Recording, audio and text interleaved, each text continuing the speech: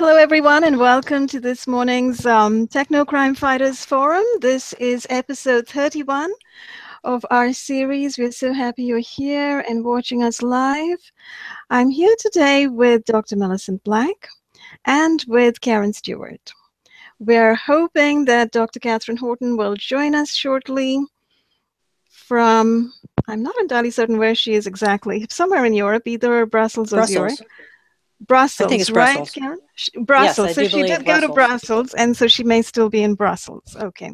So, and I know that she has some um, very important information to share with us today about her trip to Brussels and about her being present at a very momentous occasion, the birth of a friend's child, a very important friend whom we know because she's on our team as well, uh, Melanie Vritschan, who is the founder of ICATOR.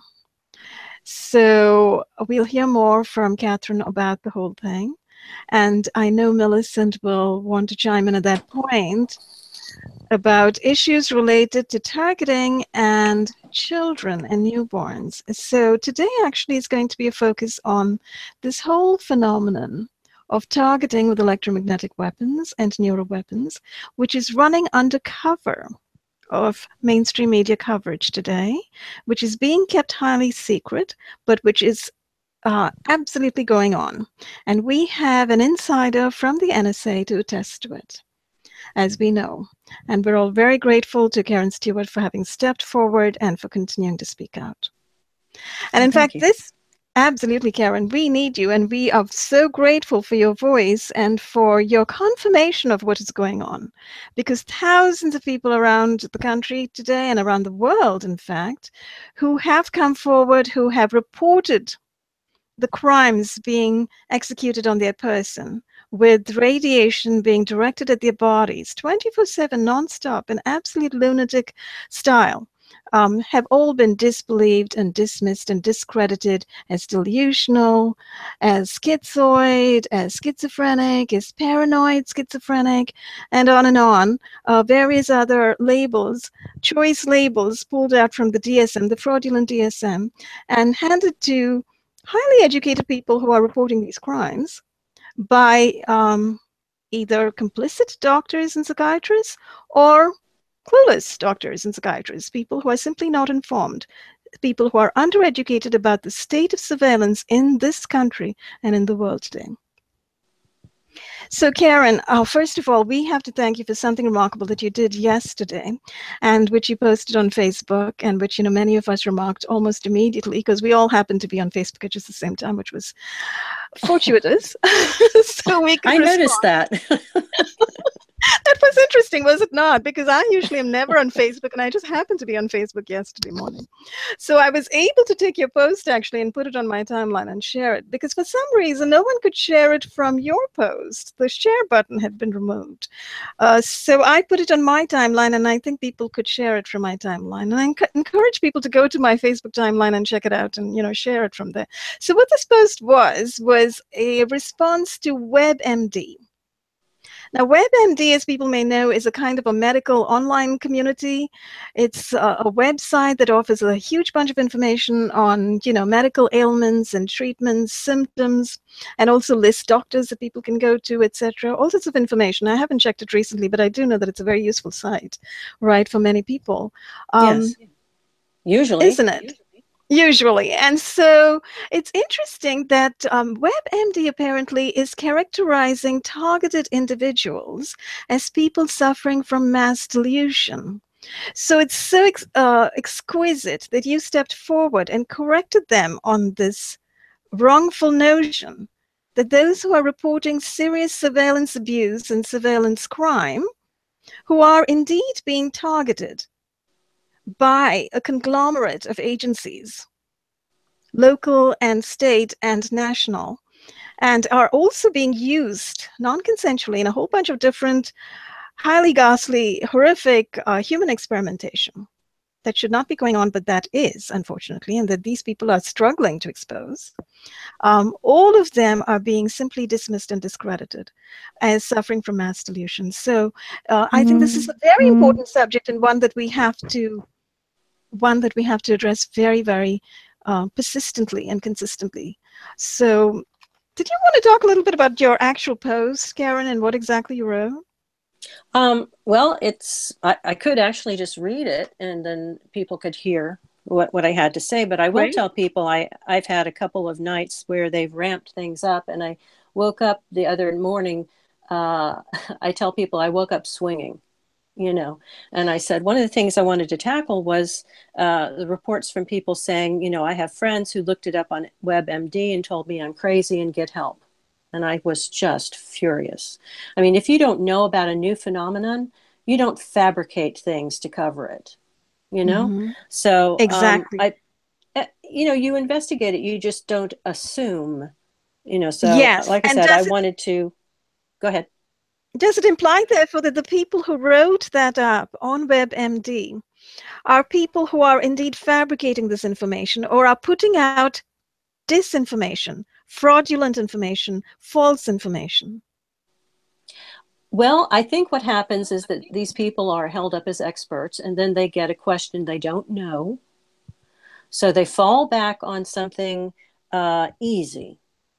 I mean, look at the fact that the there are several. I mean, I don't even know how many articles now have been written about the sonic attacks in Cuba. Mhm. And then after, you know, maybe five to 10 articles came out, then somebody went to psychologists who had not even spoken to anybody who was attacked in Cuba and had them write up a a an article that basically said, well, maybe these people are suffering from mass delusion.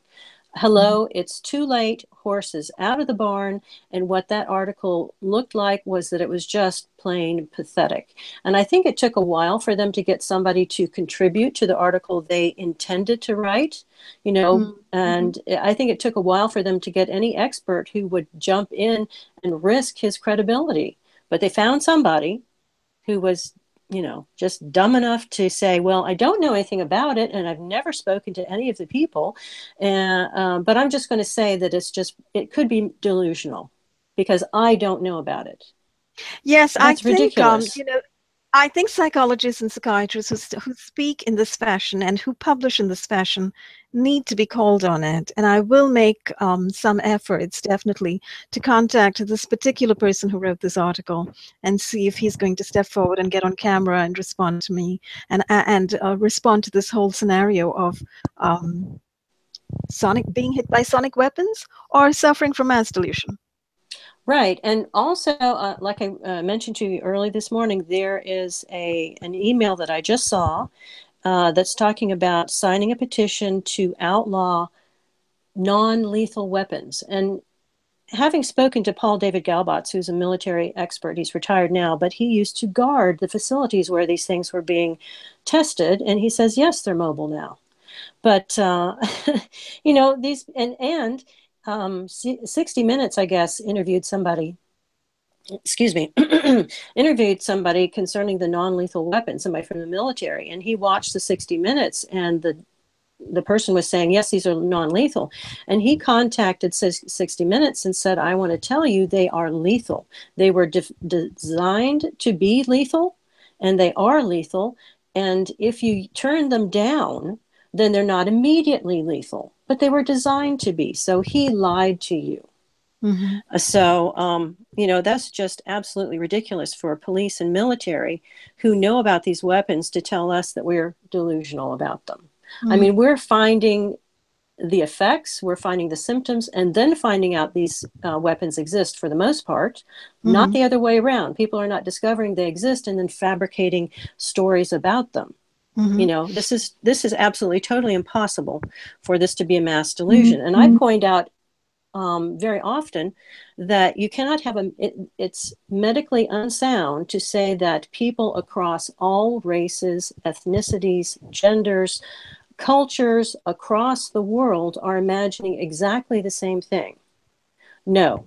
If you have a village somewhere, and uh, if um, they see an airplane and they've never seen an airplane before, and they go back to their own mythology, maybe they have a mythology about dragons. So they see this thing fl- flying through the air.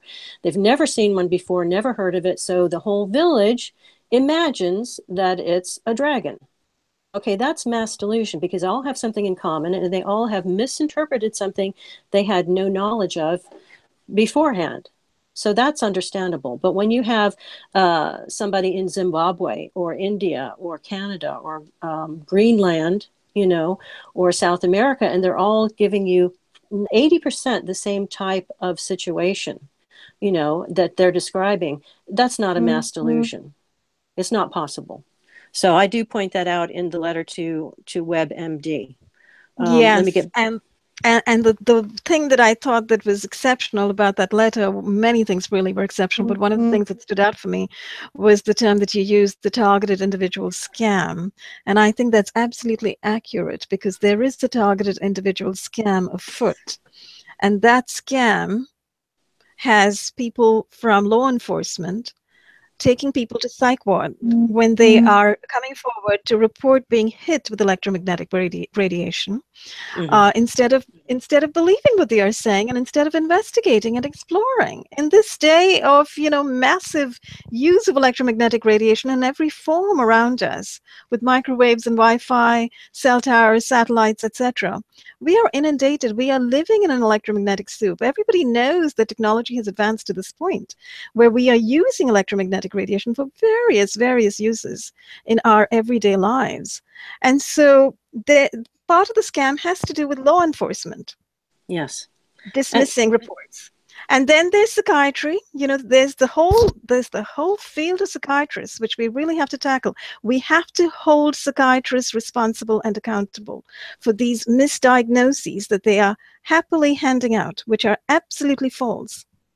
They yes. need to be put on the spot well we are making inroads a little bit all right i um i had a friend in florida um, for about three, four years, and we're still friends. And she happened to be a psychologist. And I had met her and befriended her before all of this started happening to me in regard to the directed energy weapons. But it was after NSA had abused me and, and fired me because I had dared to go to the inspector general. Um, so mm-hmm. she knew about that. And then when I started getting targeted, she did have her her doubts. And she made she basically wrote me a nice letter and she said i at first wondered is my friend you know schizophrenic? And then she said after she listened to me uh, she decided no something real is going on. And at one point in time she and i were sitting on her back deck at a table the size of an ice cream table. So we are sitting rather close, but we are watching, uh, sitting outside enjoying the nature and looking out over the lake mm-hmm. noticed that uh, when I would go to visit her, NSA or their proxies would send somebody out on a boat to hit me while I was visiting her. So I had started to explain to her, I'm not going to stay very long because I don't want you to be injured. And at one point in time when we were sitting together, apparently somebody in the in the boat mistook her for me and hit her with a weapon and she reacted to it and I said, "Oh, what's what's wrong you know? And she said oh my god. And she said something just hit me. I said well what what has happened? And she said i have never experienced this before. She said it feel it felt like something drilled into my ear into my brain then realized maybe it was the wrong brain and drilled back out again. And then she reported you know a day or two later she said do you know that i hurt for like six or seven hours that evening? Oh my goodness so not only was she able to judge that in the three years that I'd known her, I'd never said anything peculiar, um, which a, a, schizophrenic person really is known to not be able to have a thought that they can continue. They will bounce around subjects. You know, like if I if I were schizophrenic and I knew one in college, then I would come up to you, Ramon, and say, "Hello, Ramola. How you know? How are you today? Do you like flowers? I love flowers. I especially like yellow flowers hey look at that. There's a wrench on the on the ground. Wonder who dropped that. You know oh did you see that bug in the air? You know mm-hmm. they just cannot follow any type of logic in how they communicate with you. So do mm-hmm. any of us sound like this? I don't think so. So they're trying to put that label on us is unsound medically. Mm-hmm. and i think they know it but they're desperate to not be shown to not know anything about this so they grab the first tool available and, uh, uh, uh, oh, yeah, schizophrenia, that's it, you know. And so they're being dishonest. This is an ego thing. They don't want to say, I don't know. So they say whatever they think might fit and uh, blow people off. Oh, it's schizophrenia. Okay, thanks a lot. Bye.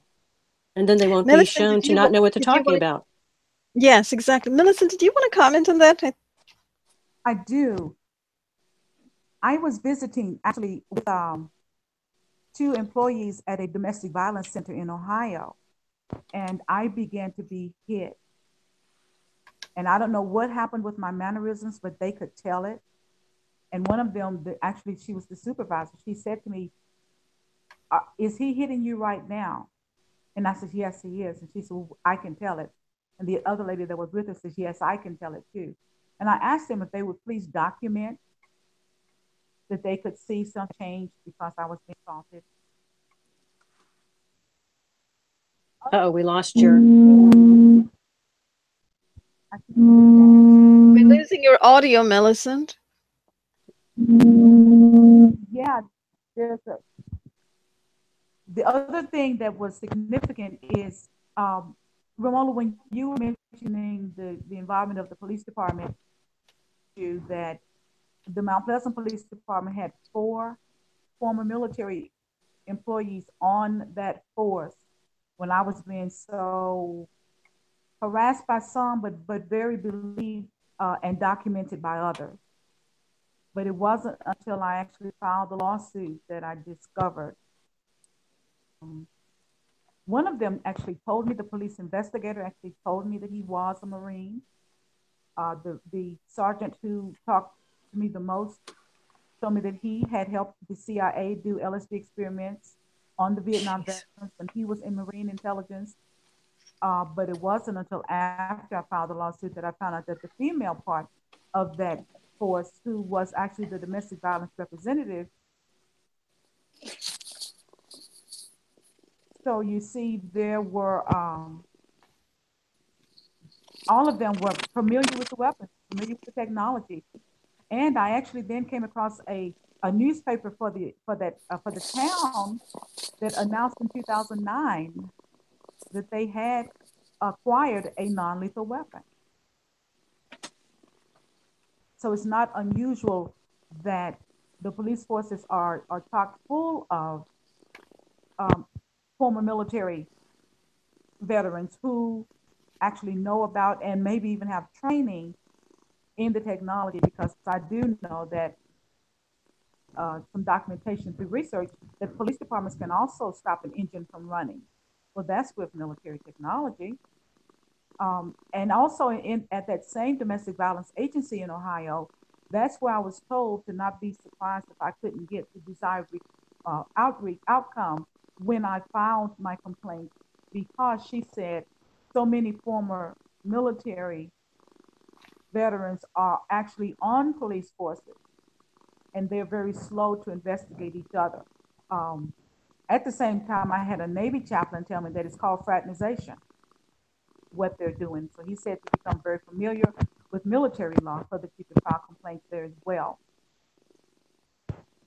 So those are the two things that I, I wanted to add to what was being said while y'all were, were making those um, the comments earlier. Mm-hmm. But specifically when Karen said that the doctor that she was with could actually feel the um, the assault because she was mistaken for Karen. It was important that I add that that was just one of the events or the occasions that people could see mm-hmm. that I was being assaulted based on my reaction. Yes, and I think we've established definitely, you know, Dr. Nick Begich has written about it, and I've explored some of that in my articles. There have been um, memoranda of understanding between the Department of Defense and the Department of Justice to permit the mm-hmm. use of certain classified non lethal weapons by local law enforcement. So that information is actually not being shared with the general public. And I know ACLU recently has been doing some work in trying to get a list of what weapons really are being, what devices are being used for surveillance. Um, I also did a bit of that. I tried to do, I did a FOIA with the Massachusetts Fusion Center to find out what surveillance weapons were being used on the streets. And they wrote back saying no responsive documents. And actually, what they really said was uh, we can't share information for reasons of public safety. can't share that information with me, a journalist. Uh, so if they don't want to share it with, you know, uh, a writer and a journalist, um, that really means they don't want the public to know what they are using. Yes, because if they were honest and told the public, by the way, the non lethal weapons can be lethal, And if we abuse them, they certainly can be lethal. And even when we're using them the way we're told to, we may accidentally kill a few of you, or we may accidentally severely injure you. But they want to go with this non lethal lie. Mm-hmm. There are so many lies, and that is most definitely one of the big lies. Non lethal. These weapons are, in fact, lethal, as Paul David Gobatz has come forward to establish for us. And as many others, I think, have said, it's, uh, it's in terms of measure of usage, right? Measure of intensity of usage that determines lethality. Yes. yes. Um, length of time and the strength at which it's used. I mean, if you take a radar gun, which is not generally mm-hmm. considered a weapon, and you sit outside the wall of somebody's home, outside their bedroom, and use it on them all night, you may be able to kill them. Mm-hmm. Now, if you're caught having done that, would the police really say, gee, you know, a radar gun isn't actually a weapon, so the fact that you killed somebody with it doesn't count? Mm-hmm. You know, but that's so what that's, they're telling us. That's one of the huge lies and deceptions that has been put forth here, and that's being kept under wraps. The, the fact that non lethal weapons are in actuality lethal, but are being attempted to be used non lethally in lower increments of intensity and duration. Right. Right. Well, they're telling you, they're telling people it's okay. They're non-lethal, and they're and it's a lie. If I had the letter that was written for for me and for other targeted individuals by Lynn Segalla, who was the past vice president of the American Oh yes, she's the other big whistleblower who's spoken out about it. Yes. She says very specifically that they're not that it's not non-lethal and she says that what we're dealing with is not experimentation but it is slow kill and she's very specific about saying if certain people are involved in it then it makes it a greater crime. Like if they are law enforcement it makes it a greater crime. If they are military trained then it also is a greater crime than just slow kill or just murder. Um, and she also emphasized that the international it's an international matter and, and there is an effort to get the international courts involved in it. She herself and another and a group went to speak with the uh, United Nations regarding the use of these te- of this technology, and she was also instrumental in helping to write uh, HR 2977, which is the Space Preservation Act that was written by Dennis Kucinich and introduced to Congress in 2001. Mm-hmm. You're talking about the Space Weapons Preservation Act. Yes, I think your audio was blinked out just at very key moments when you were speaking. Yes, I can hardly hear you all, so I'm not sure how well I'm coming through. But I also wanted to tell you of, of a website that I found just this morning. It's called Citizens for Community of for the Community of Human Rights, Citizens Community of Human Rights. Um, or Committee of Human Rights. Mm-hmm. And what they're doing is actually have they have a page that allows you to file a complaint about psychiatric abuse. Oh. Yes, I and, do and know that CCHR. And I think actually we should talk to Dr. Seth Farber for his views on CCHR because he understands the, the landscape much more closely than we do. Um, I'm not entirely certain if that is um, the best website or the best recourse from things that he's told me earlier but i you know i can't vouch for what he has said so we have to um, I, I would love to interview dr farber on our show at some point well i've sent the link to you and, and karen this morning since we've been talking so take Excellent. a look at it and if you think it's valid you can put the link at the uh, end of the podcast today well, well, you know, we, are happy good. to put the link out for everybody, I'm sure, for everyone so people can see it. Um, yeah, I'm not entirely certain how useful they are, is my is my question. Okay, I yeah. understand. Yeah. So um, non-lethal weapons actually being lethal, as we know, is one big aspect of it. And then there are so many other lies associated with this. The um, neurosurveillance, that neuromonitoring is going on, which most people don't know about. This is considered exotic or a conspiracy theory to some people.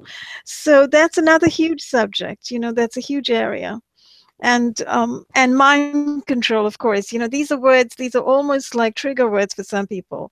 They hear the words mind control or neuromonitoring and they think that's conspiracy theory not realizing the actuality of what's going on. Some of which can be attested to um, in John St. Clair Akwei's rather landmark uh, lawsuit against the nsa in which he disclosed so much information about the signals intelligence program of the NSA, which is in, in fact, according to John St. Clair Akwei and some other other whistleblowers who have come forward, who, who are really monitoring the brainwaves of everybody um, in the country and possibly the planet, who knows. Uh, so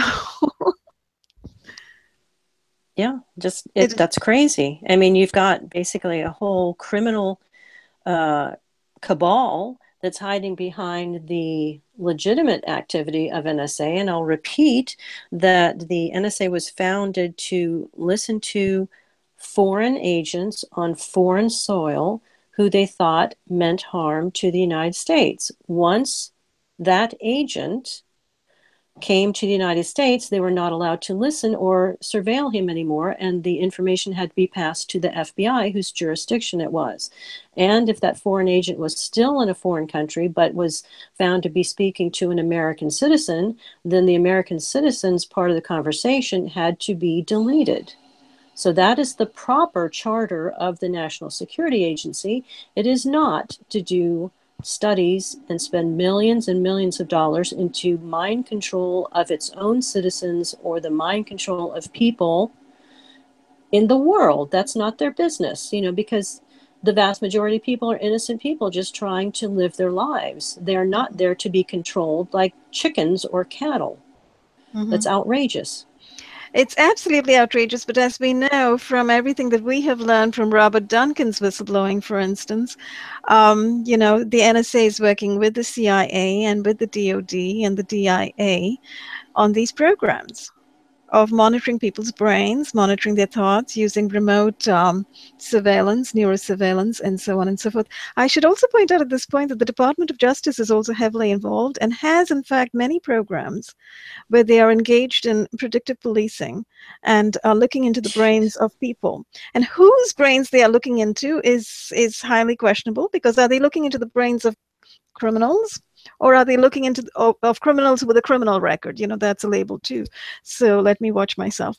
So people who have a criminal record who've been caught out in criminal activity or are they looking into the brains of people who are teaching in universities who are writing novels who are working at um, you know as nurses or as substitute teachers at the local high school are they looking at the brains of pretty much everybody in, in the country instead? You know, and this is this is something that's uh, actually rather public in some neuroscientists. Again, with DoD connections, obviously, these this is where it's all you know. The collusion becomes very obvious and and uh, overt.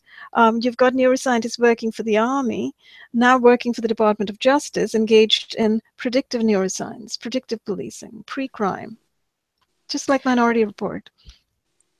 Well, it uh, also looks like they're in. Go ahead, Melissa.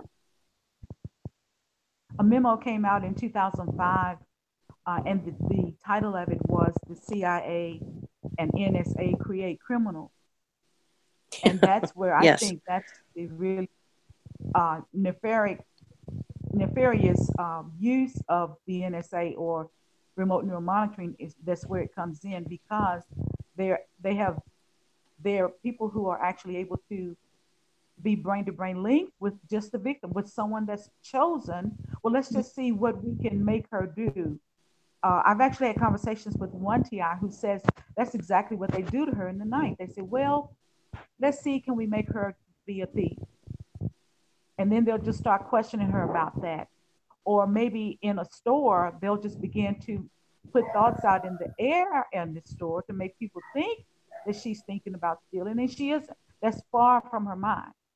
Um, so just being able to make people think you you're thinking about something when they really aren't your thoughts is something that could get you taken into into uh, police custody for questioning.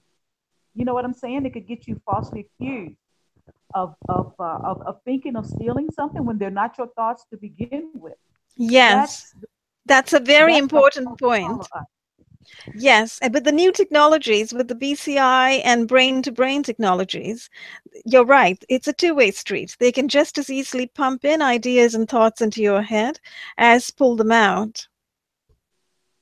Well, this is pr- also they can provoke people or set them up, and then they go, "Oh, see, we told you that person was criminally Yes. bent," uh, despite the fact they never had anything as far as a criminal record their entire life. Yes.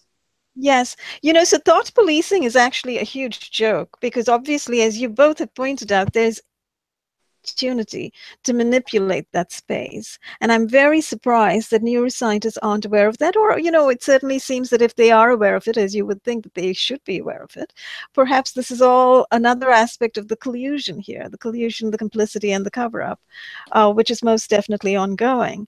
So, you know the question has to be asked. We have i think i saw a news article just last week about and i don't know when exactly this came out it may have been a little while ago actually um, about neuroethicists debating about these issues of mind rights and coming up with a list of um, problems associated with reading people's brains. Now i would like to ask why exactly are neuroethicists quote unquote considered the first last and only speakers on the subject going to affect every single person on the planet? Right. You this know, is true it's because something- they have an agenda, and we do not. We, the intended victims, do not have an agenda other than life, liberty, and the pursuit of happiness. So why is it our input is not welcome? Yeah, or anybody's, anybody's, the entire planet's. You know, this is this is obviously an issue for all of humanity. This is the kind of thing that should be a matter of public debate. It should be published and printed in every newspaper. Every every television channel should be talking about this. Every radio show should be talking about this. People should be able to give public comment through a multitude of different forums. You know, scientists cannot make decisions for all of humankind. And, And, yet shouldn't. that's exactly what's going on. That's unfortunately exactly what's going on. So because of that, there's a lot of cover up and people don't really know what's going on.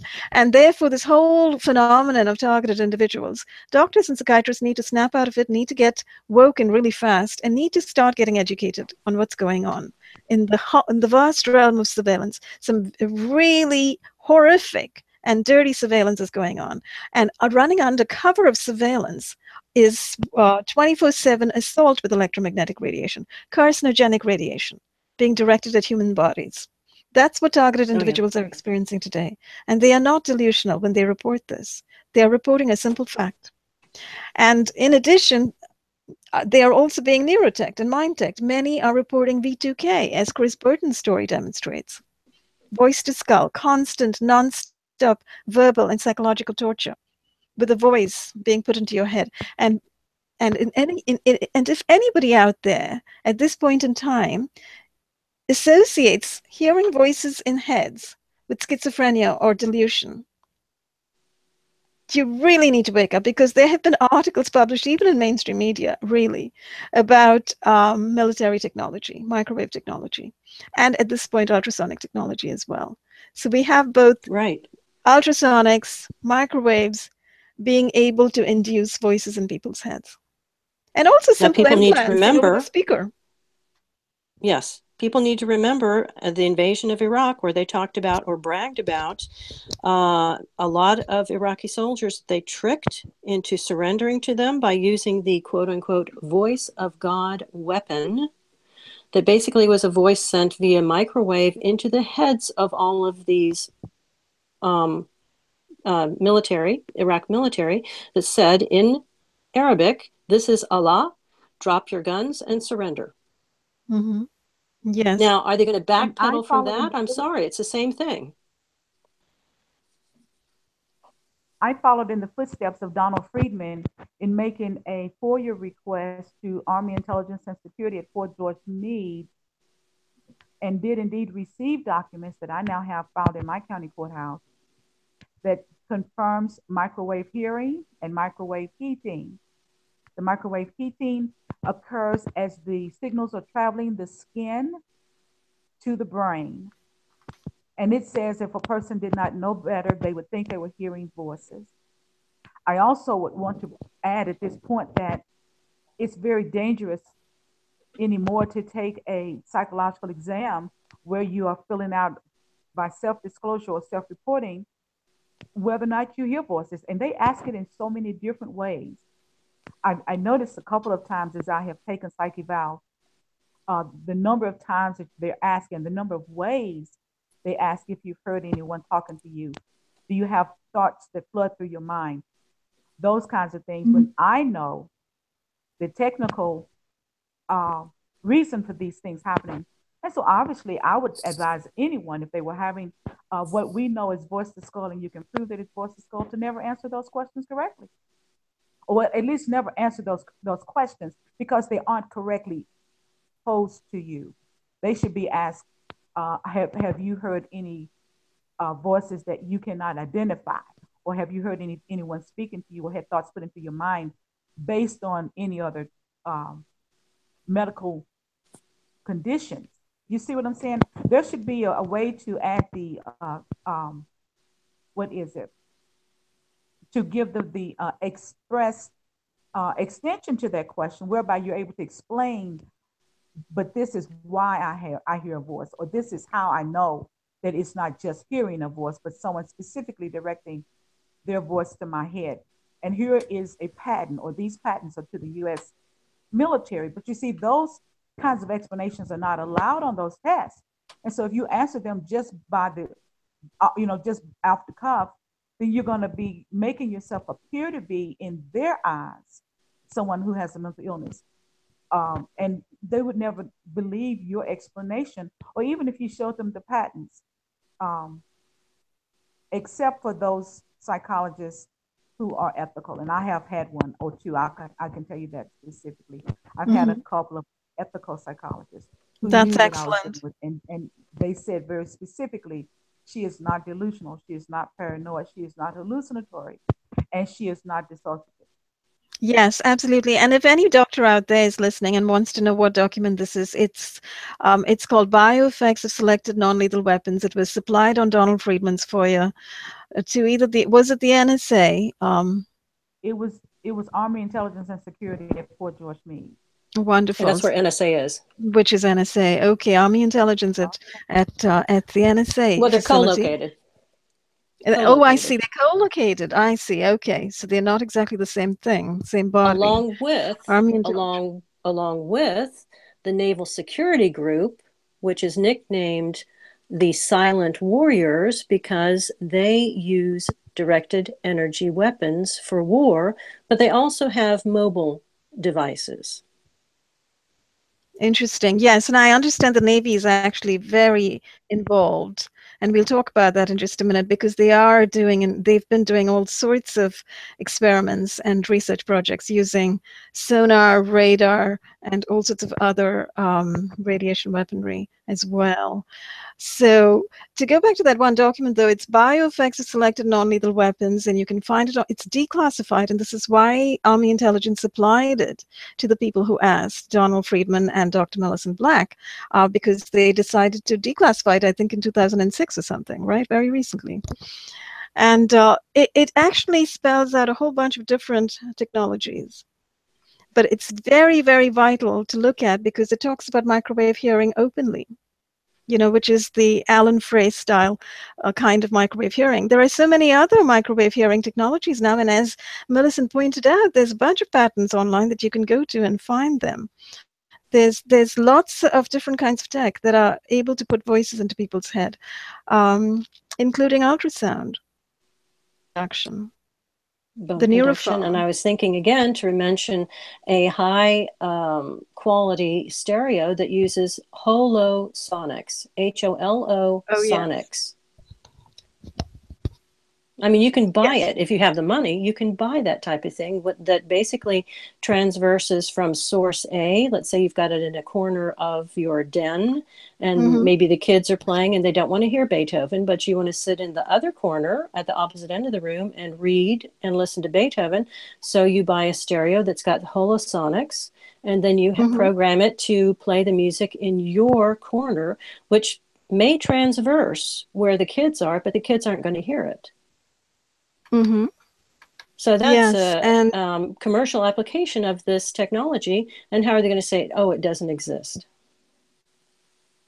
Yes, and there are a few different commercial asp- um, you know, applications, and there are several websites actually that are um, that have been advertising this information. So this information is actually online, and I can't quite can quite find the, the the link that I'm looking for right now, but I'll um, find it and put it on put it uh, below this video later. What you can also do is go to my um, recent article on Chris Burton, and I've added in a little page in the middle of the article uh, that I've linked to rather, and it's just about voice to skull technologies. Uh, something very interesting, really, something outstanding about voice to skull, which, as we know, is a military term and um, has been defined by the military, is that in 2008, Sharon Weinberger wrote an article in, the in Wired.com marking the fact that the definition for voice to skull devices had been removed from the military thesaurus online. It's very interesting. But that particular definition was actually screenshotted and archived in a couple places. One is the Federation of American Scientists, um, and the other is um, Christians Against Mental Slavery.org, I think. Oh, there we go. So I was able to get the screenshot uh, from those places and, um, you know, make a mention as well of the Wired.com article and include that in Chris Burton's interview because I thought it's very appropriate to include. So if anybody hears the term voice to skull and thinks that a certain delusional targeted individual uh, engaged in a mass delusion with other targeted individuals invented it, well, no, that term comes straight from the US military. They had a definition of it uh, online, and then they yanked the definition. Why? That's the question I'd like to ask. Why exactly did they remove remove it? Was it perhaps because they preferred to keep, they decided after a while, because you know they had it up and then they removed it. They decided after a while it might be better to completely erase all mention and awareness of this so that the little psyop with calling TIs mass delusional could proceed at a better pace. Oh, yes. So I think that's what's going on, which is a long way of saying we've come a long way from talking about your WebMD article, Karen. So we really should listen to it. We should hear it. well, okay. I mean, that's fine. I think we needed to go where we went. Um, well, I did, uh, I posted this and it says, uh, uh, under targeted individuals, you state these people are mentally ill, suffering from mass delusions. No. I used to work for the National Security Agency, the NSA, at Fort Meade, Maryland. Post 9 11 laws are being purposely misinterpreted to say that since we, the USA, reserves the right to kill terrorists anywhere, anytime, that if we lower the criteria to less than probable cause in regard to the terrorist watch list, which was done in t- 2013, then thousands of random people can be put on the TWL terrorist watch list, no questions asked. DHS has made a separate for profit DHS entity and is selling kill contracts on innocent people to buddies in the military industrial complex to torture and kill to test on humans weapons like gases, poisons, directed energy weapons, nanoparticles, sec- secreted medical chips, and even networks of chips that, according to the Pentagon, comes in torture protocol one through five at least. Another protocol being used is to order law enforcement to write off anybody who complains of stalking harassment and being tortured as crazy, and they are forbidden to help the person denied constitutional rights. InfraGard vigilantes, under the auspices of the FBI and the fusion centers, are paid to stalk and harass the victims so that the harassment mimics what one dimensional psychologists immediately assume is schizophrenia, delusions, paranoia, when it is not. This constant harassment was perfected by the former East German commu- communist secret police, the Stasi, as psychological warfare to destroy dissidents. Since there is millions of dollars to be made from using non-consensual human experimentation, even to lethality, this program is viciously covered up with an intricate network of paid conspirators. The DHS has even developed another protocol to take out life insurance policies, trust funds, and joint properties in the names of their intended victims, as was done to the 9 11 victims. I know I worked at NSA during 9 11. Durnza General Michael Hayden and his deputy William B. Black Jr. knowingly squelched warnings for six months in order to take out almost 3,000 life insurance policies on the people who worked in the Twin Towers before they were killed, and both are heavily involved in the targeted individual scam. If you will not correct your own disinformation, the ludicrous impossibility of hundreds of thousands of people sharing a mass delusion, which we know is medically impossible, then either say the cause has yet to be proven or take down the lie that is adding insult to injury in this new techno holocaust that you are now aiding and abetting. And yes, four, four psychologists have given me a very sound psychological evaluation. So Yes, that's the end of it. I just wanted to preempt them going, oh, you're crazy. It's like, no. How many Yeah. people have four psychologists who have um, basically assessed them and said there's nothing wrong here?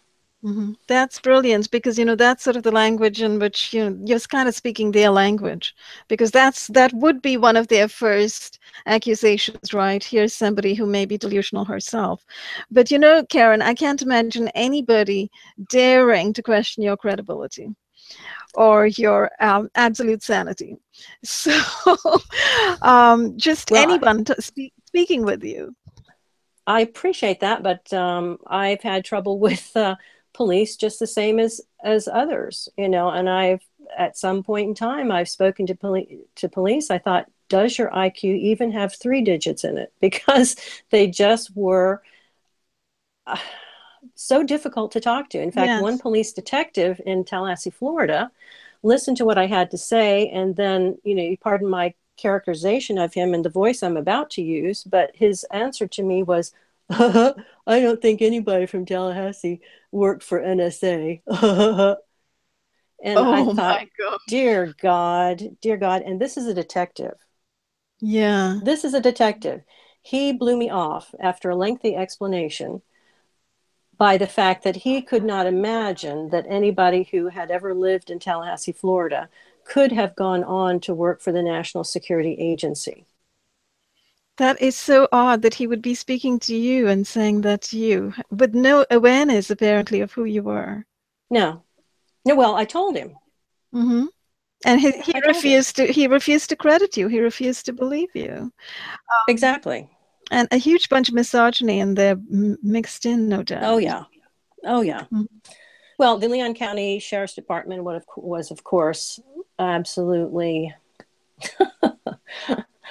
just basically incompetent and stupid. You know, Mhm. they had the same attitude that, uh, oh, you're a woman. Basically, you couldn't know what you're talking about. Hmm Well, in a sense, exactly. That's it's absolutely horrifying what's going on, and you know, it's it's uh, what you have been what you have been faced with essentially is what everyone else, you know, is the same runaround that that everyone else is given Yes. from the local police. That you know, this is not happening. You must be delusional. Let me let me call the psychiatrist immediately.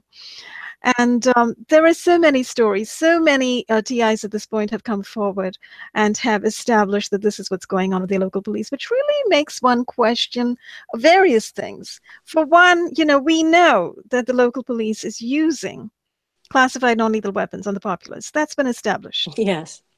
Two, they're also using non classified lethal weapons on the populace. As we all know, they carry them in their holsters and they also use radar guns. So they've got non lethal and lethal both that are in the public domain that, that have been acknowledged. You know, so these Mhm. guys are armed to the hilt, both with both radiation weapons and with conventional lethal weapons.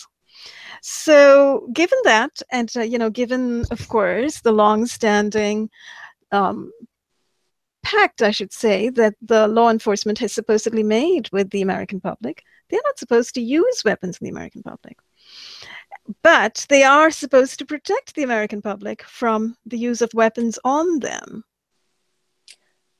And so it becomes doubly ironic that people reporting the use of weapons on their person, the use of radiation weapons on their, on, on their person, are being given, you know, no, no uh, chance for an audience with local law enforcement who are yeah. Persisting, you know, persisting in saying, we don't know anything about it.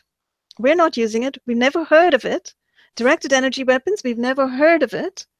Hmm. we don't know anything about energy weapons, radiation weapons. Did you say you feel you're being hit by an energy weapon? Let me put you through to the local. I don't know if they have a psychiatrist on call per- permanently in each department or how exactly they do it, but somehow a psychiatrist materializes and people are, in many cases, forcibly carted off to police stations, forcibly carted off to emergency rooms, forcibly carted off to mental institutions. And imagine These the kinds of stories we're hearing. Yes, yes. And imagine somebody saying, I'm stupid. I don't understand what you're saying. Therefore, you must be crazy. I mean, essentially, that's what they're saying. Now, they did, uh, I think people know that uh, with the article that you wrote, that they did try to do that to me because they didn't understand. I, you know, directed energy weapons, or they pretended they didn't. Because I had said to them, look, the same thing that you're saying, look, how many veterans have you hired onto the um, Leon County Sheriff's Department? Uh, how many veterans have you hired uh, onto the Tallahassee Police Department? Surely some of those were in Afghanistan or Iraq, and they know about or even used directed energy weapons that were mobile, at least. Mm-hmm. So why didn't you contact them and ask them about them? Did they? No. And in Tallahassee, Florida, you've got two universities, FAMU and FSU. They both have physics departments. Do they know about directed energy? Of course they do. In Tallahassee, Florida, they also have something called the MAG Lab, which conducts research on electromagnetic radiation. Do they know about them? Of course. Did they consult any of these people that I told them to consult? Of course not. Mm-hmm. And uh, one, one uh, sheriff's deputy, Pennsauken, who is apparently uh, Samoan, uh, decided to try to Baker Act me. And so they did attempt that. And when I spoke to the psychologist, he basically said, Go home, you don't belong here.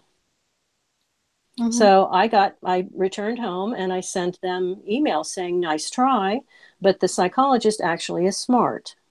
Mm-hmm. Yes. And I, and know, they said, Well, we disagree with him. I'm like, really? You and your high school education that is needed to become a deputy, you disagree with a professional psychologist? And you know, we should point out that this is a huge abuse of power.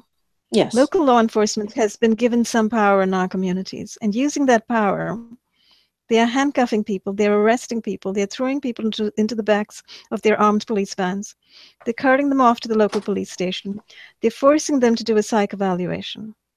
Why? Because they decide that somebody has a psychological problem when they can't quite understand, as you point out. Well, the you know, they could and the technology. Yeah, they had all the uh, opportunity in the world to research this and find out that it was true, but they wouldn't. Mm-mm. No, they wouldn't, and that's so. That actually brings me to the point that I wanted to make. That um, you know, either they're ignorant, as we have explored just now, or that there is a specific and distinct agenda ongoing here. And I, I, I am sort of inclined toward the latter because this appears to be prevalent across the length and breadth of the country, and in fact the world, because this is a protocol that's being followed now by local law whenever people mention they're being hit by EMF weapons or radiation weapons, which they are, they are being given the runaround by local police and being taken to police stations, taken to mental institutions, taken to psych- psychiatrists and psychologists. Even when they're shown That's, meter readings that are outrageous. Yes.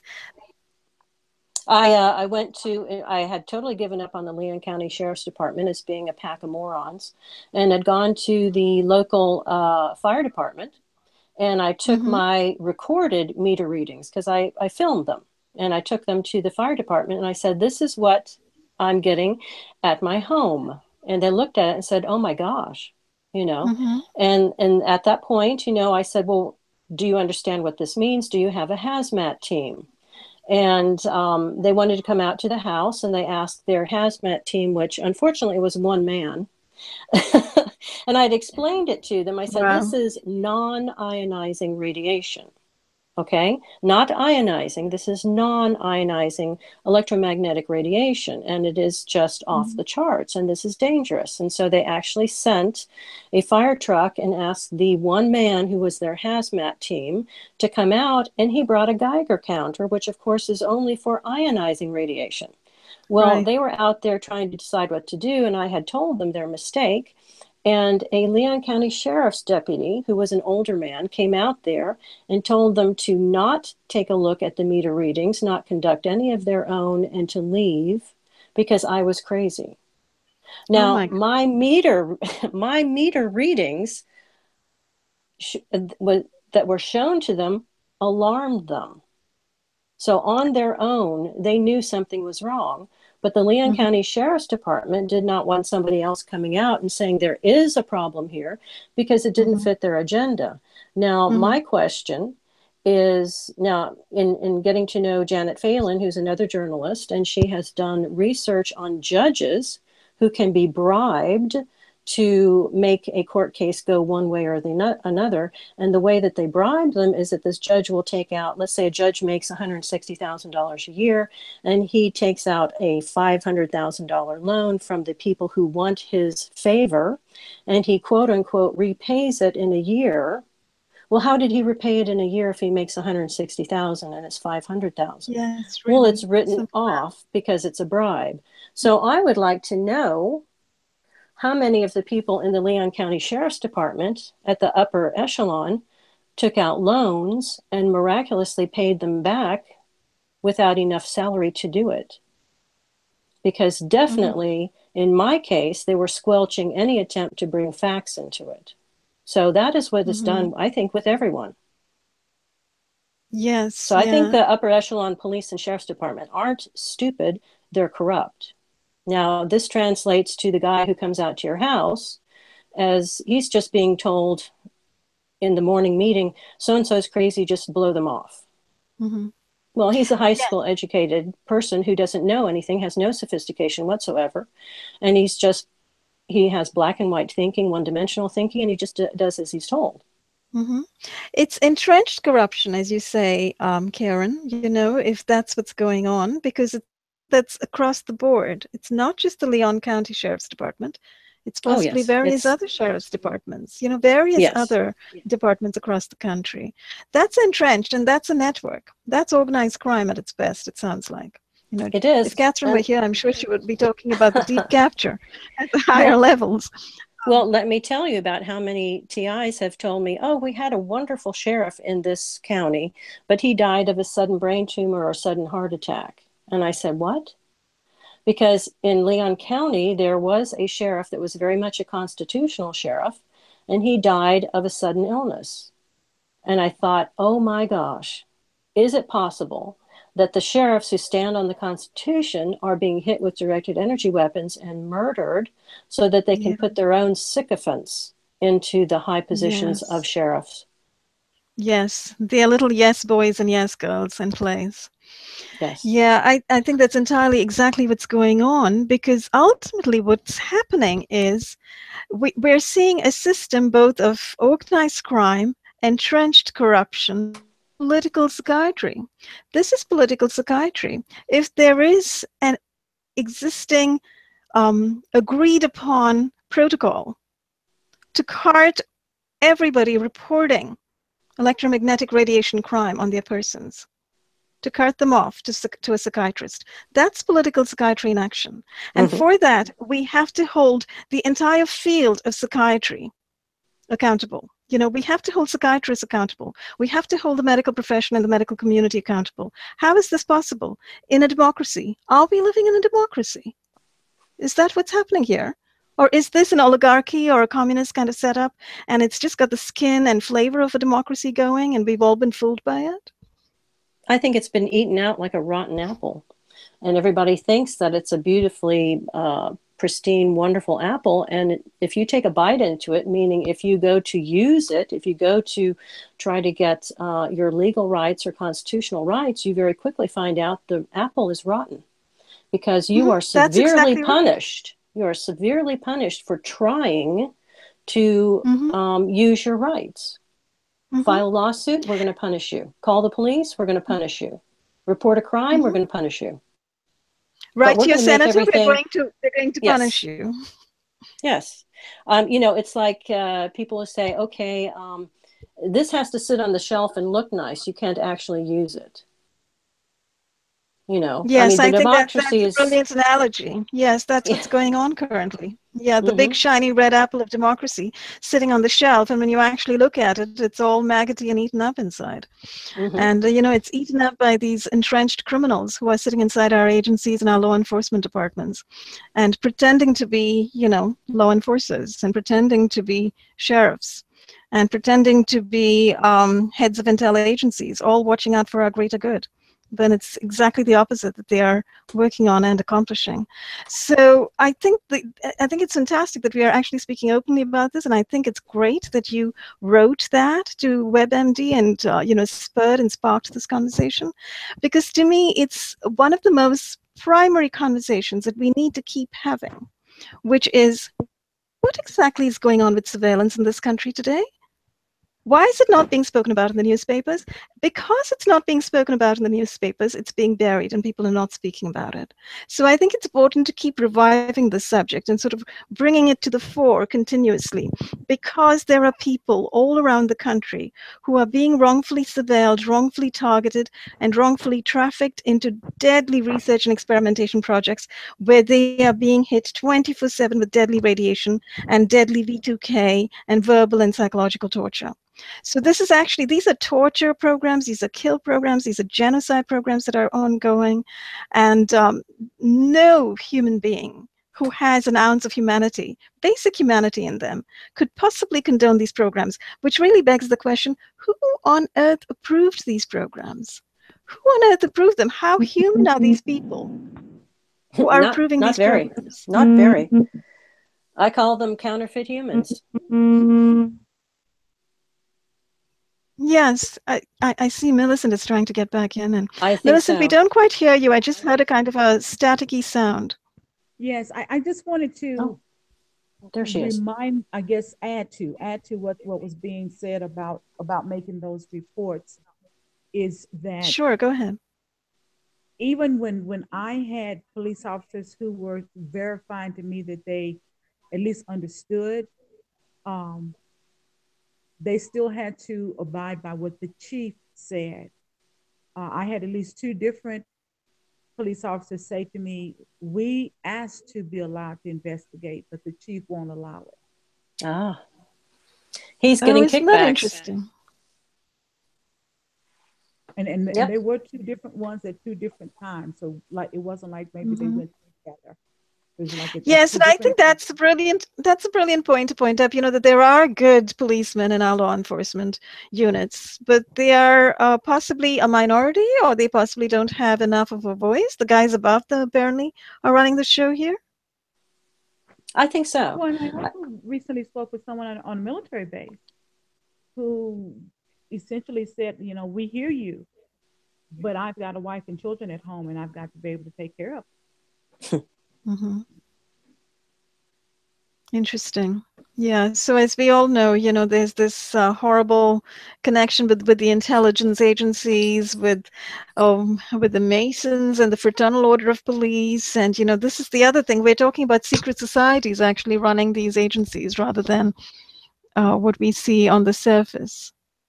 Mm-hmm. This is true. This is the indication, and I call it a, a death cult. It is you know, a death discovered that with with these weapons, they could kill anybody they wanted to. So now uh, I will say that when I was working at NSA, there was one lunch conversation where somebody, it was a friend of friend, said that he was highly disturbed to find out that NSA uh, had moles in every office of any congressman or senator who they thought might vote for or against something that they might have an interest in. And I thought that is absolutely, read, totally treasonous. I, I read it that every police force had to have at least one intelligence slot on their force. So is they're expected to hire someone from, from military intelligence on their slot, uh, in, on their force. The other well, thing this is like is the I SS. in 2011 by a police investigator. He said, "Wait a minute, I thought this was an experiment." I said, "But I never agreed to be anyone's experiment." And then just this year, someone else said to me, "Well, what they're doing is watching your reaction, but they're not watching my reaction because my reaction is skewed by being tortured in my in my pelvic area, in my pubic area, and, and my leg. You know, they're not watching just a, I mean, it's, it's one thing to have a rabbit walk across in front of me when I'm just sitting there and nothing else is happening. It's totally different when a rabbit of me and someone uh, suddenly stabs me in the in the leg or shocks me in my spine so that I jump. Then it's going to look like I have a desire to run after the rabbit, but that's not true. I just got shocked in my spine and I jumped. possible. Exactly. Very good point. And you know, clearly these are bogus experiments. And I should also say what you are talking about is also pointing to that whole phenomenon of trauma-based mind control, which as we know came out of MK Ultra. And uh, when you, when anyone hears those terms, trauma-based mind control, everybody gasps and think, "My God, which anti-human concocted that?" And we know which uh, anti-humans concocted those horrific experiments. They were the MK Ultra guys. They were the CIA, you know, and all the psychiatrists who worked with them. So, and the army psychiatrists who worked with them. And however, it's the Mitchells. yes, yes, various other $1 million. Mhm. Oh, all the sponsors of those experiments, yes, of course. And then again, it comes back to those secret societies, those sex and death cults who've been practicing from inside the agencies and most definitely from inside the CIA as well. So there's all of that. And then you look at the present day and look at what's going on, and you begin to realize that the um, those MK Ultra experiments, which supposedly went uh, disappeared, went off the map in the 70s, merely went underground, as many writers have come forward to, to inform us about including Alex Constantine, you know, who's written extensively about this. Um, they've gone underground and then they've resurfaced. And you know where they've resurfaced? They've resurfaced in the Air Force Research Laboratory, the Naval Research Laboratory, the DARPA, the DoD, and the NSA. And now it seems trauma based mind control has become perfectly acceptable in certain circles, in certain military circles. It's perfectly acceptable to use trauma based mind control to engage in neural network mapping and remodeling and trying to figure out how people's brains work and create cognitive models of people's brains and download them to computers and download human brains to computers and so on and so forth. So all of this deadly brain experimentation is going on currently thanks to DARPA thanks to the CIA, thanks to all this undercover classification and keeping it under wraps. And yet, this, this phenomenon is not being remarked on. When, when people come forward in, in our society and report that they appear to be victims of ongoing experimentation, which is not letting up, you don't have our educated professional class, you know, getting concerned forward, listening, taking reports, working with the ACL, you're working with Amnesty International, working with the DoD, working with the CIA to get these experiments stopped. No. What you see instead is people at the Bioethical Commission, Amy Gutmann, who I think was chancellor, perhaps, I forget the exact uh, title that she had at the University of Pennsylvania. She headed the commission, closing their years, Amy Gutmann and her friends on that board, the entire bioethical, so-called bioethical commission, President's Bioethical Commission under Obama, set up to find out if horrific non-consensual experimentation was going on in this time period in America.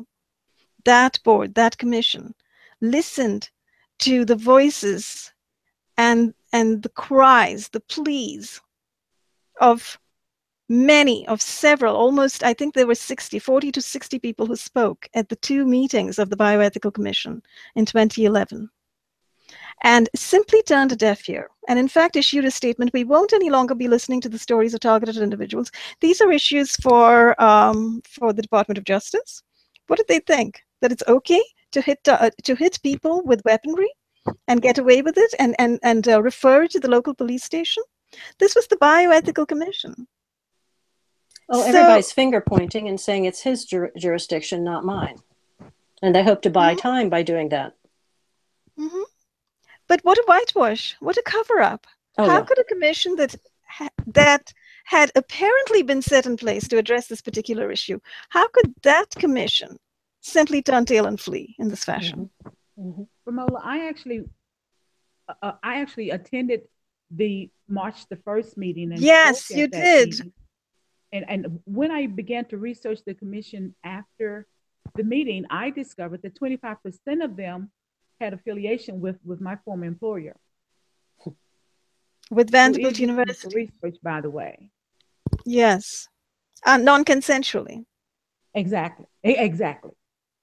Yes. And, and very did, interesting.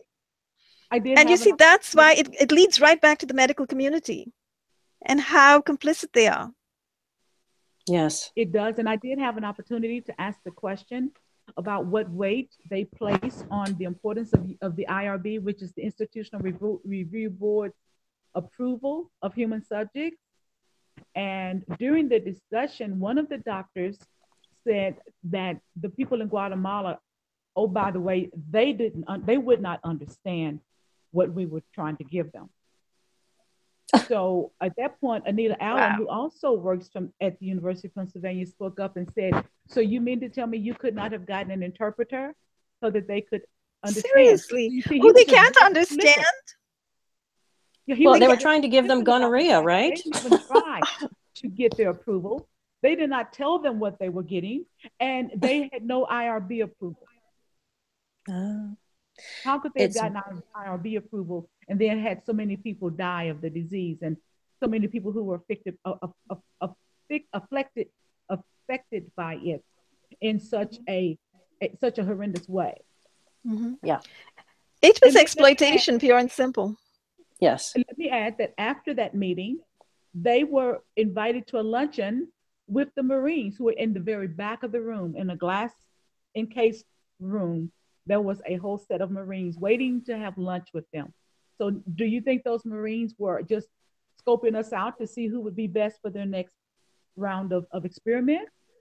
Mm. Well, why were the Marines present to start with? Why were they present at the Bioethical Commission, um, you know, deliberations? Exactly. How did they know to come to that place for them? And why, yes, why were they waiting for them afterwards? Not one of them showed up in the room during the meeting. Interesting. So when we turned around, they had all gathered at the back of the room in a glass room that was where, where we could see them all there in uniform, by the way. Of course. Intimidation factor. Mm-hmm. And it's not just the Marines, you know, we should also think about the intelligence agencies working in the military department. So could it be the intelligence guys hanging out among the Marines? You know, that's their cover story, the Marines for that time period. Mm, they can. They can. NSA will send people. Met with them after they met with us. That's that's the, mm. the whole thing that makes it look so so much less real or so much less um valid. Mm-hmm. You know, mm-hmm. the, the whole investigation piece. Was it just a ploy to get us in, especially since FFCHS had such a uh, you know, such a national name by then, and there had been several attempts to go to Congress and to hold meetings on Capitol Hill. Was that all just a ploy to get us in so they could take a closer look at us? Or, like I said, look for, look for what other experiment experiment that they could place us on? especially those of us who, who spoke out or you know just to be present because you see they have all these um, you know i'd like to see what the military directives are really because they have all these if you look at some of the um, waivers in the common rule because apparently there are waivers of informed consent for almost every department of the federal government including every department of the military. And they, slight, they word it slightly differently if you go look at the code. Um, i'd love to know what precise directives they're following. Perhaps they needed to be present when their subjects were reporting their experiences? Jeez. Ah, now that doesn't make me feel so good. Perhaps, perhaps they were, perhaps our signature on those forms to speak could be used as signatures of informed consent. My God, there's so many things I had not thought about. Yes, yeah, it's it, exactly. And that's a very important point as well, Millicent, because, you know, most people, when they go to the doctor, everybody's used to signing a little form that says, you know, I hold you free of liability or whatever for, for this, uh, for this um, knee operation I'm going to have or this whatever uh, operation you're going to give me. And people don't think twice that signing that particular form, that form is actually possibly being misused and being seen as permission for some deadly, dastardly, um, secretive covert ops experimentation. And that appears to be how uh, people are being rolled into these, because so many people who've gone into hospitals for surgery are coming out with the, the experience of being chipped, the experience of being stalked, the experience of being followed, and the experience of um, discovering implants on their body being activated.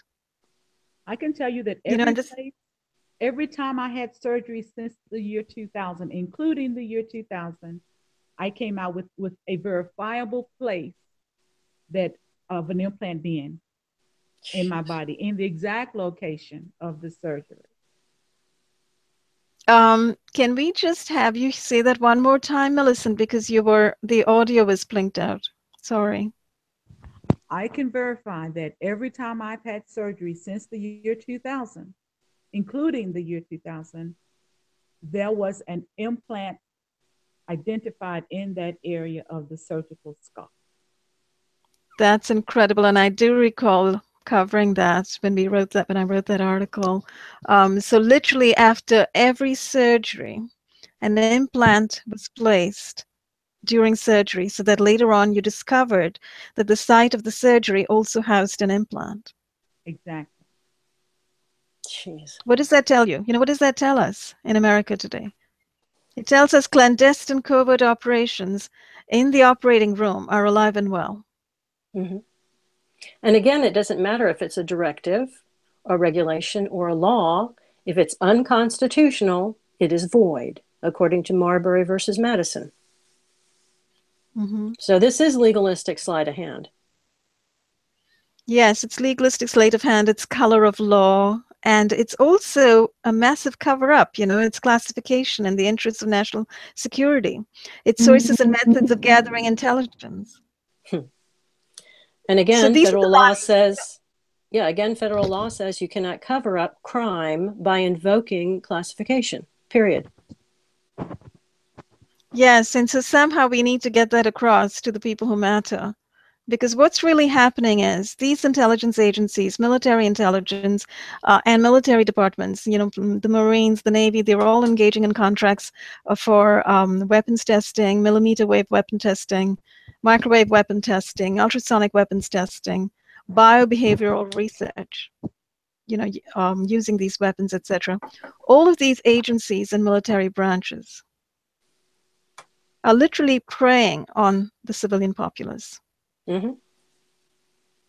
that they're tasked with uh, protecting, period. I mean, the main mm-hmm. function of government is that you appoint people to make sure your society is not attacked from with, without or within and destroyed mm-hmm. so mm-hmm. that people can have life, liberty, and the pursuit of happiness. You are not mm-hmm.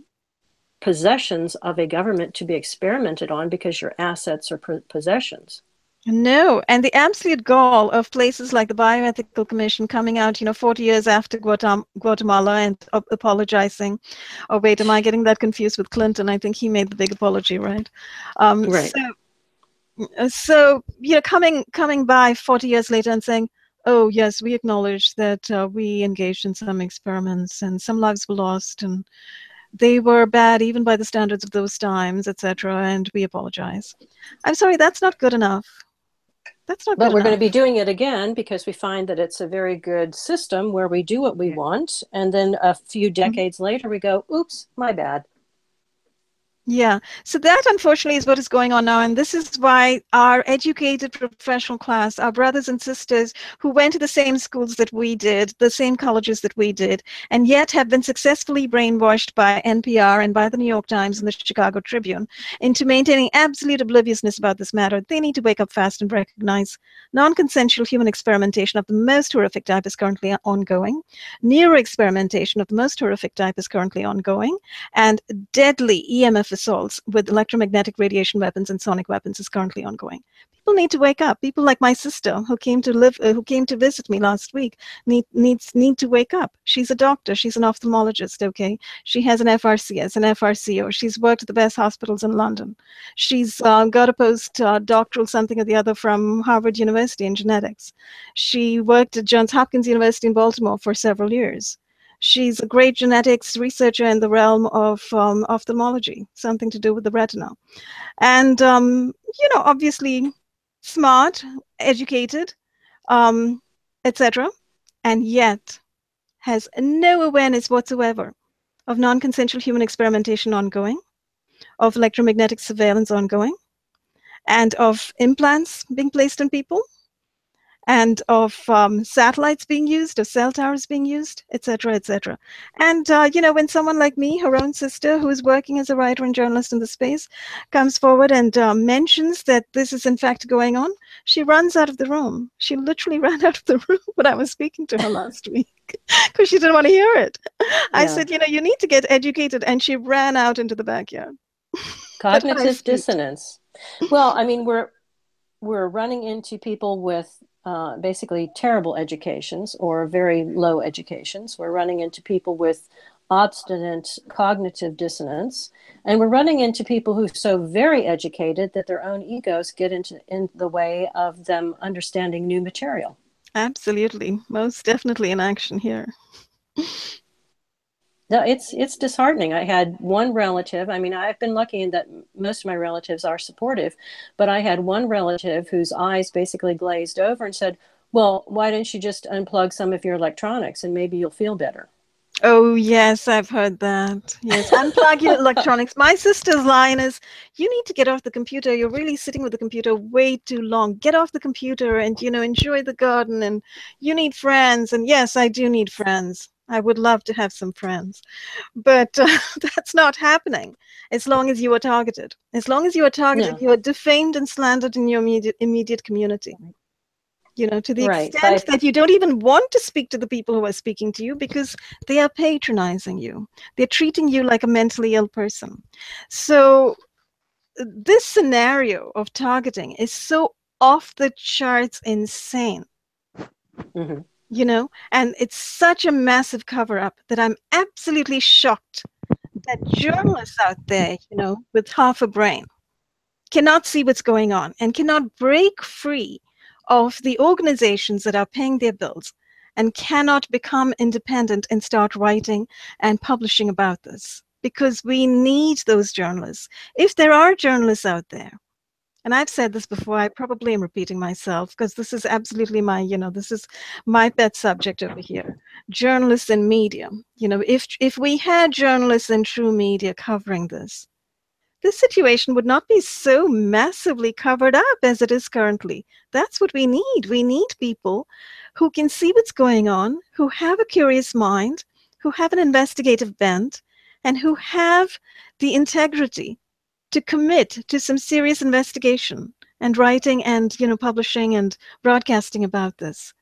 If if people keep ignoring the phenomenon of targeted individuals in society I'd like to know how exactly they think that they can move forward because there is no way forward in understanding the uh, landscape of surveillance and the landscape of non consensual human experimentation today without understanding, exploring, and exposing the whole phenomenon of targeted individuals. No, there's not. And I think there's a good reason that modern day uh, people refer to the media as prostitutes. You know, the quality is gone. Now, if I were in an organization, knew about this, then I would try to have people get together, try to say, if we all come out with a story about this, then we can't be picked off one by one. We will have come out en masse, and it's going to be hard for these evil people to come against us unless they basically out themselves. And if they out themselves, then it's up to our military, I think, to take out the domestic terrorists, if that's what they want to show themselves to be. But you know they're just basically ducking and covering and hoping that the bad stuff goes away or flies over and, and leaves them alone. Well that happened that worked real well in nazi germany didn't it? You know people were turning a blind eye as to when the gestapo would come and drag their neighbors off. You know and at first they told themselves we don't care we're not jews. And then the people with conscience who said i don't care who they're dragging off they don't need to be dragging anybody off. And then those people got dragged off you mm-hmm. know? And so it, eventually it, their whole country was destroyed. I spoke to a man whose family lived in, in germany and for several years they survived on eating weeds nettles.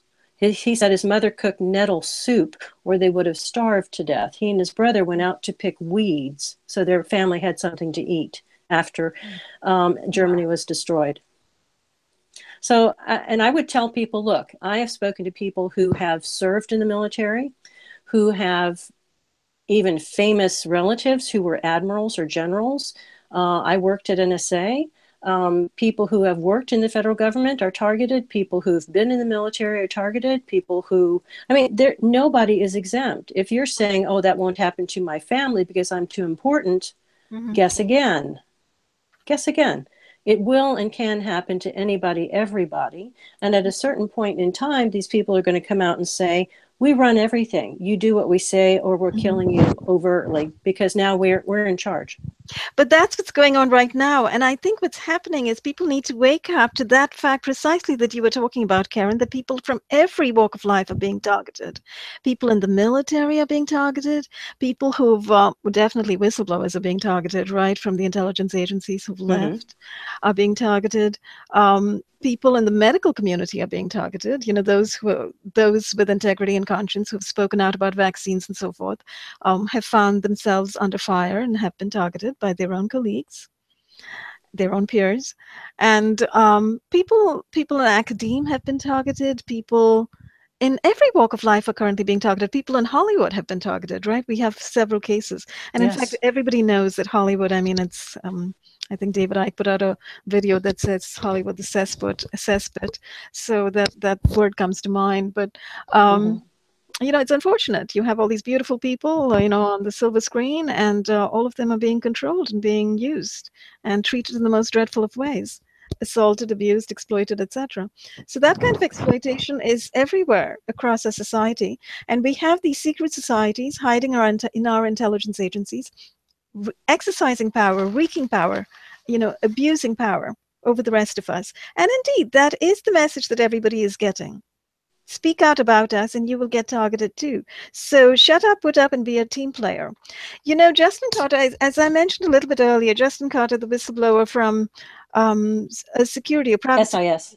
SIS, thank you, is a security industry specialist, etc. Right? Is that what it's called? Incorporated special security industry specialist. Um, I think so.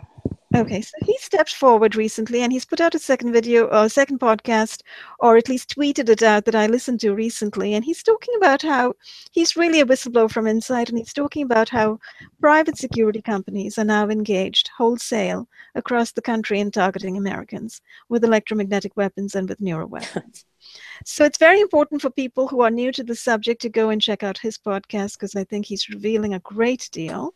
And he, I admire him hugely because he comes right out and he slams the people who are doing this and he says um, openly that what they are doing is execrable you know what these people who are being paid money to carry weapons in their backpacks and in their cars to pursue targets from room to room, from house to house, from street to street, from store to store, and hit them on all parts of their body, including their brain.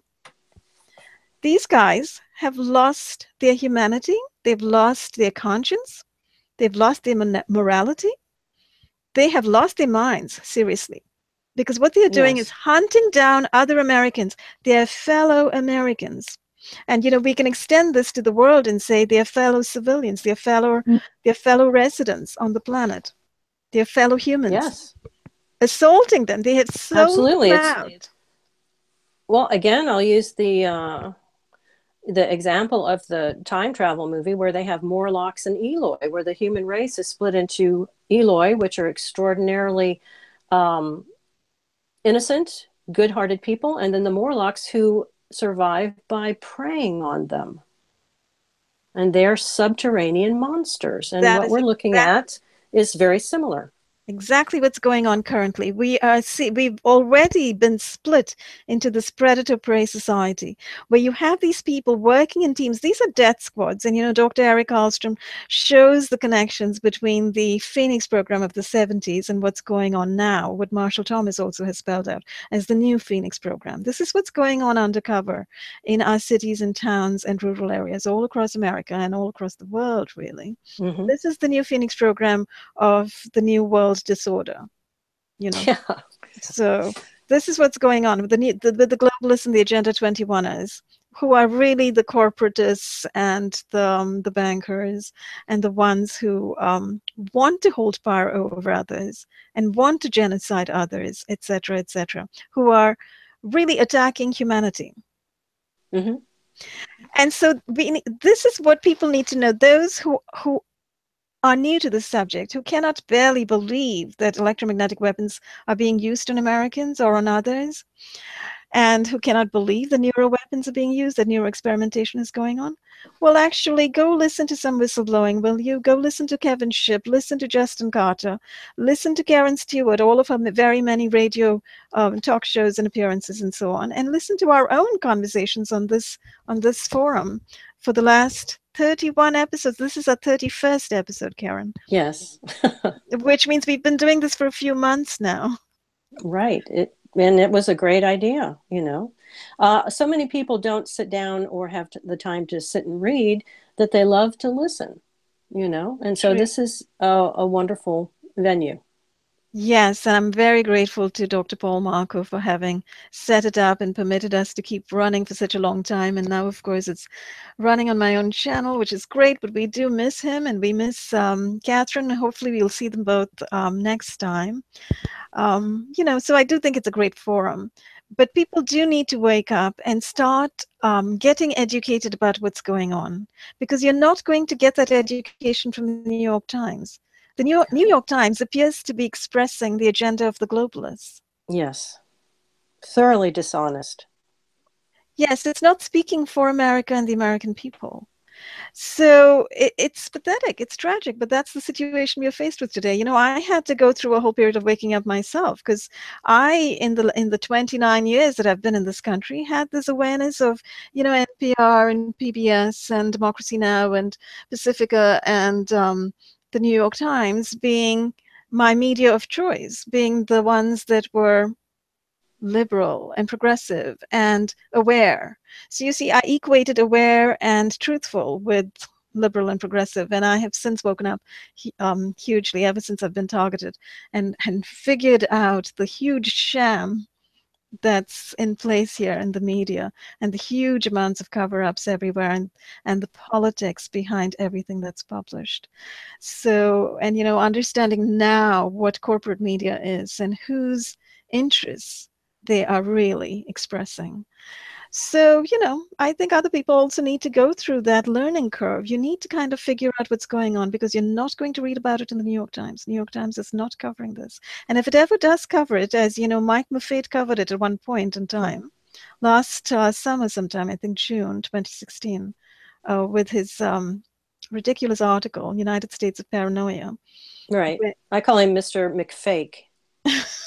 Absolutely. And did he not interview you? And then he did not even present your information in the article, right? No, he didn't. Um, we spoke and I told him my entire story and he didn't use a word of it. He had no intention of telling the truth. Yes. And I think he actually mentioned you in one paragraph, but he did not mention that you were an NSA whistleblower, that you No, were a No, retired just- intelligence analyst. Nope. Nothing. no, he just he made sure to mention my name and then tried to smear me as one of those. Yes. And he didn't give any information about me whatsoever except my name. So it was a Yeah. total setup.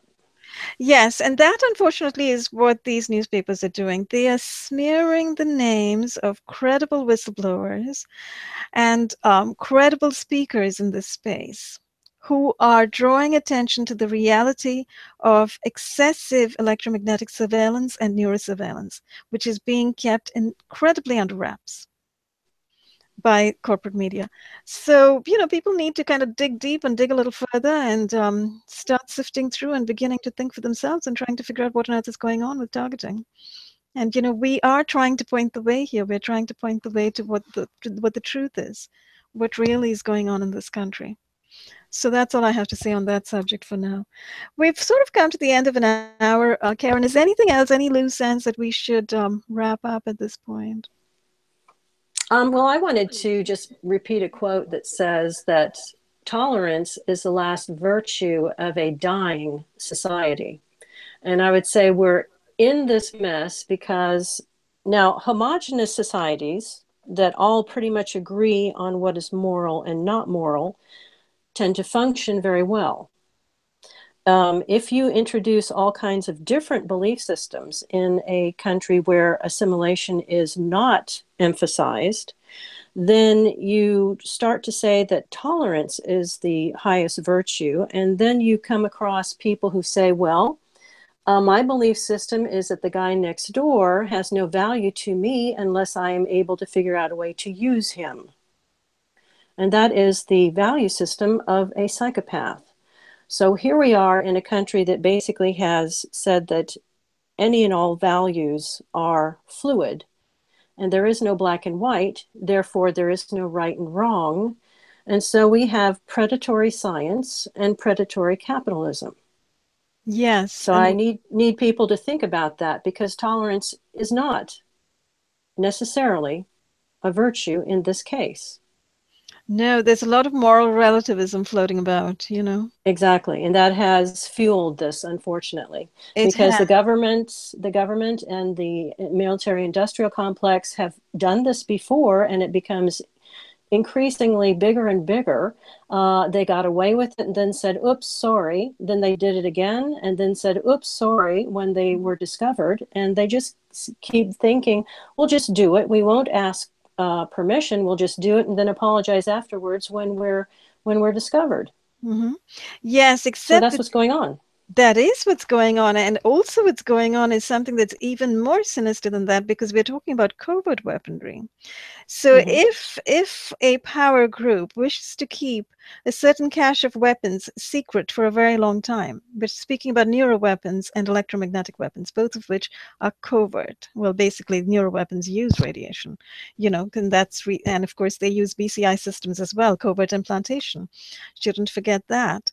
So. Um, and of course, not in all cases. I know there are people who will jump up and say, "Oh, you don't need, you know, implants to get into people's brains, etc." Yes, yes, I know. I'm just talking about the the whole range of tech over here.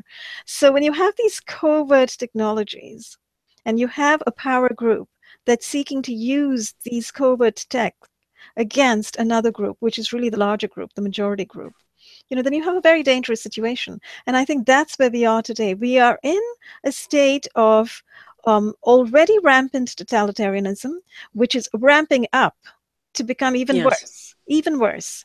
You know, because once these weapons are permitted to be in the in the hands of these people unacknowledged, the situation is going to get much, much worse.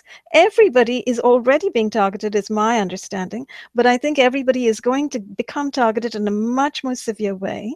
And the threat of these weapons is going to grow exponentially.